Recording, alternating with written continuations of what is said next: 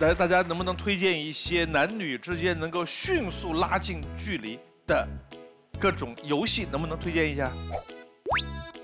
十一号，像现在不是很流行剧本杀啊密室，或者说喝酒，迅速拉近距离。还有没有别的？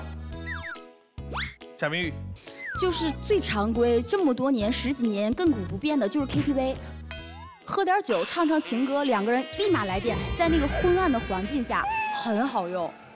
这传传统项目，传统项目来，十三号，我觉得爬个山、露个营什么的吧，朋友一起可能比较容易促进感情吧。我觉得要到两个人都露营了，那就已经成功了。嗯，大家一起啊，好多朋友一起。哦，大家一起啊？对呀、对呀、好多人一起。我我觉得先认识很重要。对对，先认识。哎，还真是，现在好像比较流行的就是剧本杀，好像是。对，因为我开剧本杀的初衷就是说，呃，现在大家普遍社交比较困难，然后身边的朋友都是比较有局限性的，但是剧本杀这个东西是可以让好多陌生人在坐在一起，然后快速的互相去达到一个认识，呃，社交还是说比较快一些的。但他们说这个太费时间了。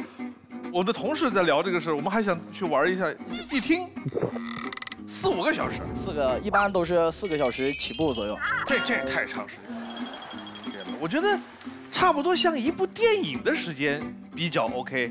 太太早散的话，你还没认识人。啊，不是，那比如说玩玩爽了，我我再续一部，可不可以的？你一上来弄四个小时，我想走都走不了。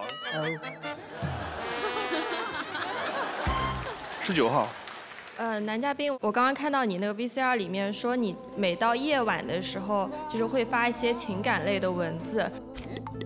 那你是不是有那个网络上经常说的那种夜来飞？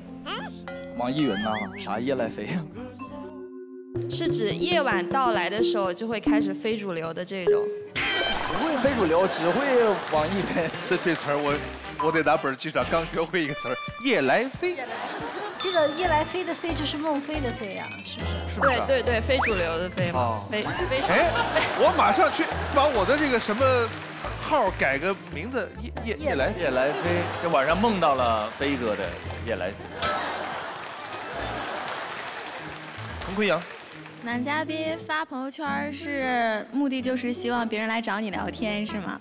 其实发朋友圈，我也不知道想等什么，反正就是想等一等。具体等什么我也不知道。